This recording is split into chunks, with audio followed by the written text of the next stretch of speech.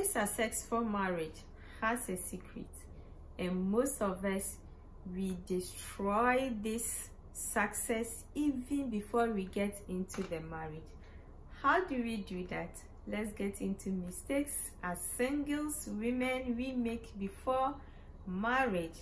The first one is expectations, and this goes to both parties. The expectations that we have before we even think about the idea of marriage contributes a lot. Any expectation that you have should be something that's let me say religious or spiritual in the first place. When we put that aside the reason why i'm saying this is the intention. As it is said actions are judged by intentions the intention the sincerity in you towards marriage plays a very important role in the first place.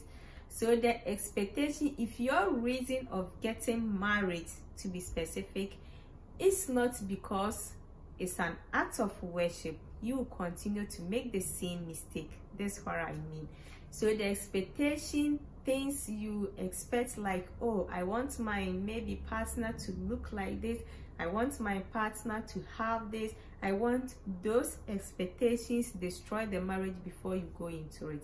If you go into the marriage and things you expected, you don't get them, what happened? You feel like this is not what I want. This why expectation is very important.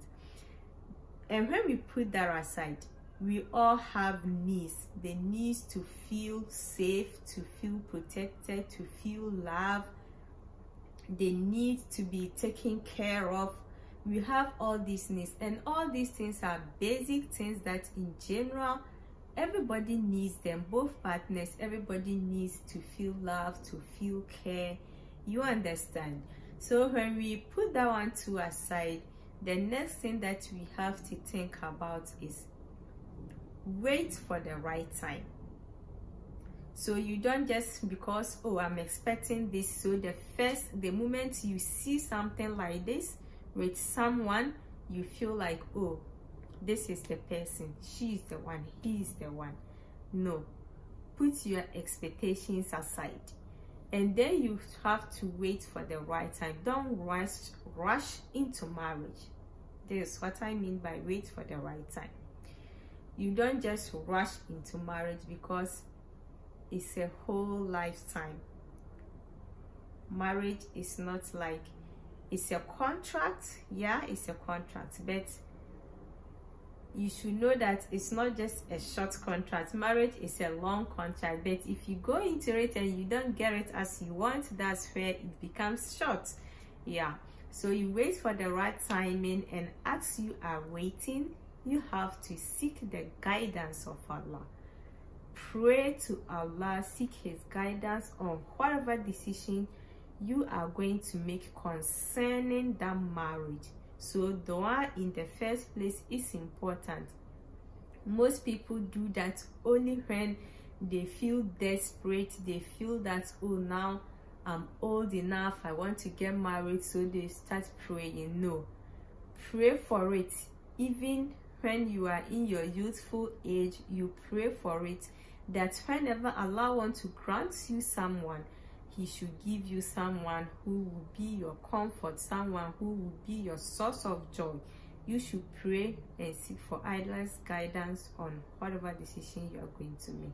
So these are the basic three I would say it's important to consider before you even get into the marriage and then getting married. After getting married, what are your needs? What are the things that you want? And all these things have to play a role right in the beginning even before marriage. You have to make sure what are the things that i want? The things that i want to achieve. The things that and how the process you are going to do that. Is your partner willing to help you achieve that? Is the person trying to make you feel like i'm with you on your decision. So it doesn't you don't feel like after marriage every decision has to come from the man. Yes it's true every decision or most of the decision has to come from him. He is the man the final decision is for him.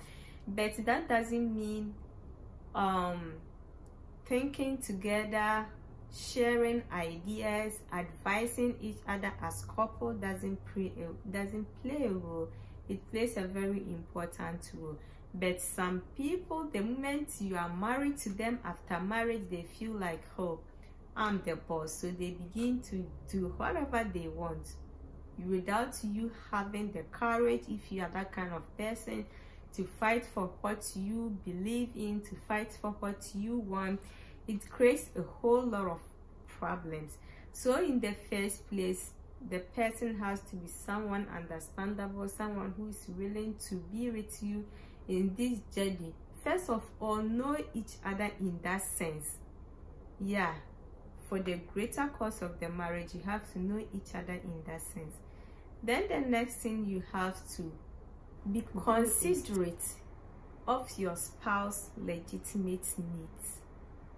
Be considerate what are the basic things the most important things that your your partner needs from you. As men we are supposed to give them the respect and in return we are supposed to show them gratitude and they are supposed to love us. But if the gratitude is not there the person does something for you and it's like it's not appreciated definitely he will lose that interest in wanting to do more and feel like oh she's ungrateful. So normally that's the problem we face. One has to show the respect and the gratitude and the man is his job to love and care for you. That one allah has given it to him to care for you every needs. And then yours is to respect him and show him gratitude. So that's the the basic secret. If this two basic thing is not there you feel apart you feel distance from each other. And this creates problems one after the other because everyone begin to feel like my basic needs are not the basic needs you are expecting they have not and the met. last advice is molding our dreams. You don't mold your dreams before marriage. Which goes back to the expectations. You expect things after you get into the marriage.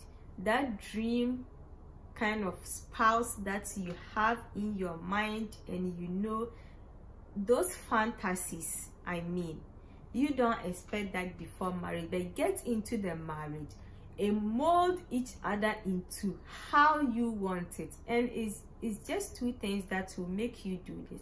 You respect the person you show gratitude to the person. He will love you back and you begin to understand each other. All of you want to do things that will make each other happy. So in this process you mold each other into what both of you desires and you get that beautiful marriage. And in all this allah should be the center point. Someone who's going to help you improve. Whatever belief you had before marriage? When you get into the marriage it should increase not decrease. You don't support each other to do things haram to do things that you are not supposed to do in the name of your enjoying your marriage. Every enjoyment as allah has ordained for us but we should know our limits not to cross our limits but in the end make each other happy by making allah the center of the marriage. If i know i'm doing it for the sake of allah you know you're doing it for the sake of allah. At the end of the day he is the center and when allah is the center of your life everything is successful for you. Salam alaikum